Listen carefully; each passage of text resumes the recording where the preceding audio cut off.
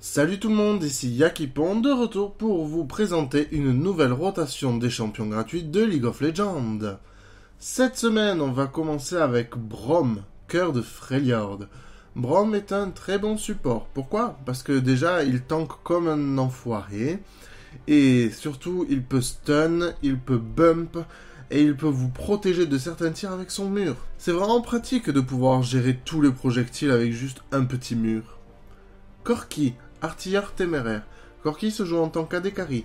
Il est bon vu que sa Gatling fait beaucoup de dégâts si vous êtes proche des ennemis évidemment. Ensuite, Corki c'est un spammer, un spammer de son ulti. Plus vous faites son ulti et plus vous aurez de chances de faire des grosses Bertha qui font encore plus de dégâts. Donc euh, avec Corki il favorise un petit peu mais vraiment à peine de la régène mana et c'est bon. Vous pouvez gagner facilement. Galio, veilleur lugubre. Galio est très bon en tant que mid ou en tant que support. Ce qui est vraiment bien avec Galio, c'est dès que vous êtes dans le tas, en fait, vous pouvez gagner. Vous avez juste à ulti, vous allez provoquer tout le monde, tout le monde va vous taper vous, et le reste de votre équipe va pouvoir mais exploser le reste de l'équipe adverse. C'est vraiment très très bon Galio. Et d'ailleurs, je vous en reparle avec un autre personnage qui va suivre. Gragas, agitateur. Gragas se joue en tant que mid ou top. C'est un AP assez tanky, vu qu'il a un sort déjà pour récupérer de la vie, ce qui est plutôt pas mal en soi. Ce qui est bien, c'est la passive de Gragas en fait. C'est plus il fait des attaques et des sorts, et plus il va récupérer mana et PV. Donc franchement, ça c'est cool. Ensuite, Gragas, il peut placer les gens à sa guise avec son ulti, ce qui peut permettre d'éviter euh, les ennemis de s'enfuir, et vous de pouvoir engager assez facilement. Emerdinger, inventeur réputé. Emerdinger est un AP lui aussi. Il se joue soit mid, soit mid. Donc s'il vous plaît, ne faites pas de choses exotiques. Emerdinger est réputé pour être déjà un inventeur, lol, mais aussi un très très bon pousseur de ligne. Eh oui, c'est normal, il met ses trois petites tourelles et la ligne se fait push tellement vite, mais tellement. Et puis ça fait mal aussi les tourelles d'Emerdinger, donc faites attention. Le seul souci que je donne à Emerdinger, c'est qu'il n'a pas assez de stun ou, ou de, de contrôle en fait. Kalista, lance de la vengeance. Kalista est un ADC très compliqué, donc je vais passer un peu de temps avec elle. En fait, ce qui est bien avec Kalista, c'est que déjà, euh, elle peut faire des petits bonds entre chaque auto-attaque, ce qui est pratique pour pouvoir esquiver des skill shots. Par contre, ces auto-attaques, on ne peut pas les annuler, comme Graves, Kathleen ou quoi que ce soit. Donc, si vous faites une auto-attaque, vous êtes obligé de la terminer. Ensuite, il faut savoir avec Alista que plus vous mettez des lances dans la tronche des gens, plus vous ferez mal avec euh, le sort qui s'appelle Rand, je crois, ou un truc du genre.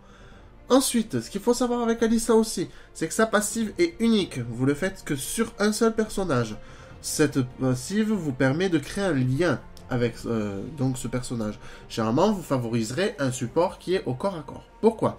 Parce que ce lien, déjà, euh, vous donne des bonus de dégâts si, vous, si les deux personnes tapent la même cible. Je ne sais pas si vous comprenez tout.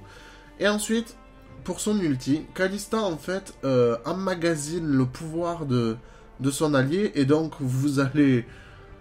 En fait c'est très compliqué. C'est Kalista lance son sort et c'est au support ou euh, à, celui qui a été lié avec Kalista, hein, parce que ça peut ne être autre chose que le support. Donc quand Kalista lance son ulti, c'est euh, à son âme liée de se débrouiller.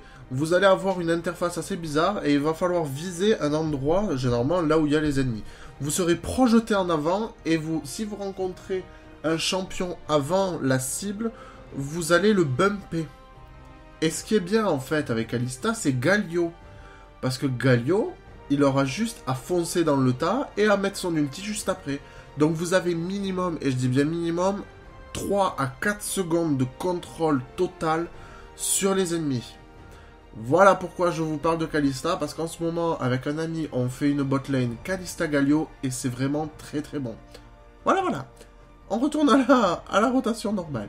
Morgana, ange déchu. Morgana est un très bon support et un très bon mid. En fait, Morgana est vraiment bien parce que déjà, euh, sur une ligne, quand elle est toute seule, elle peut récupérer beaucoup de vie. Déjà, juste avec sa passive. Ensuite, Morgana peut esquiver des, contrôles et des dégâts magiques juste avec son bouclier, ce qui est encore plus pété. Et alors, pour finir, Morgana, son ulti, ben, c'est un contrôle de masse. Hein. Vous avez juste à vous mettre au milieu de l'équipe, vous lancez votre ulti, vous faites un Zonia, et voilà. Généralement, le reste de votre équipe est censé faire le pâté tout seul. Rise, mage renégat.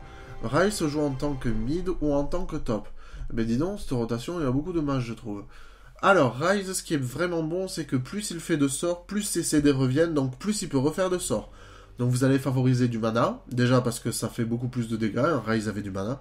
Et vous allez favoriser aussi de pouvoir taper votre tête sur le clavier afin de faire le plus de sorts possible. Skarner, gardien de cristal. Skarner se joue en tant que top ou en tant que jungler.